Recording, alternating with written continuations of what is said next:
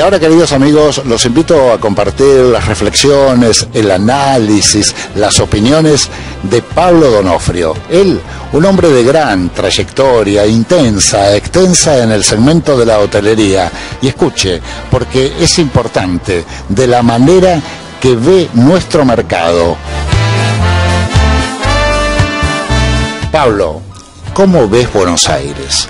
Es una ciudad única. Yo no digo que sea la mejor, ni, que, no haya otras tan buenas, pero esta es única, porque desde la aventura de viajar en colectivo, que hay, gente que, viene a hacerse turismo de aventura, todo un colectivo, y a eh, esa posibilidad que tenés hoy, desde hace unos pocos años, de alojarte en zonas no tradicionales, que no en todas las ciudades se puede hacer.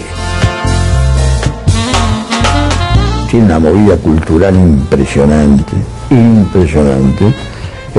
eso sí se ve en muy pocas ciudades del mundo.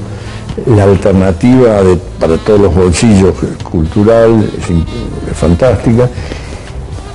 Eh, eh, todo el movimiento artístico, plástico, nosotros lo vemos cantidad de galerías. No es habitual en las grandes ciudades que en 10 manzanas haya la variedad de, galerías de primer nivel en este barrio. Pero además están este, Retiro, Recoleta, Palermo tiene galerías, Liniers tiene galerías, este, la zona norte. O sea que todo esto hace que sea una ciudad... Este, eh, ahora, esto promovió la construcción de hoteles.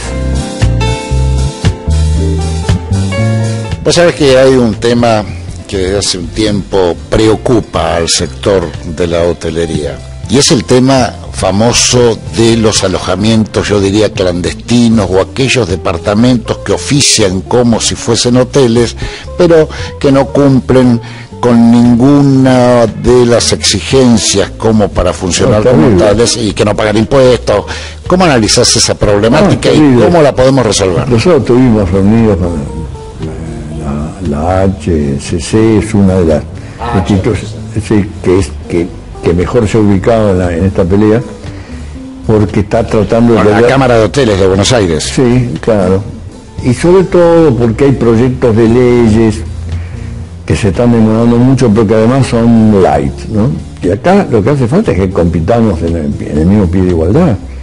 Es muy duro este, que la habitación de un hotel de estos la haga una mucama que por convenio gana 5.600 pesos y a te cuesta el 30% de cargas sociales, y la misma habitación, o mejor, la haga una señora que gana 100 pesos por día o 80. Este, sin seguros, no tiene seguridad ni ella, ni, el pasajero. Entonces, realmente el, el Estado debería legislarlo esto, no para que desaparezcan, Estamos hablando de 36, 37 mil departamentos. ¿Cuántos? 36 mil. Es el cálculo de la HCC. Este, entonces, es tremendo. Yo te digo, nosotros tenemos compañías, cuentas corporativas que trabajaban, que, que trabajan todavía con nosotros, pero que a lo mejor la mitad de sus visitantes van a departamentos.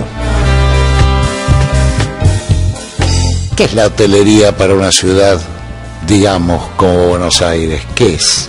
Bueno, es que lo que pasa es que desde el punto de vista de la profesión es, le, está dando cabida, es, una de las actividades que más personal eh, contrata.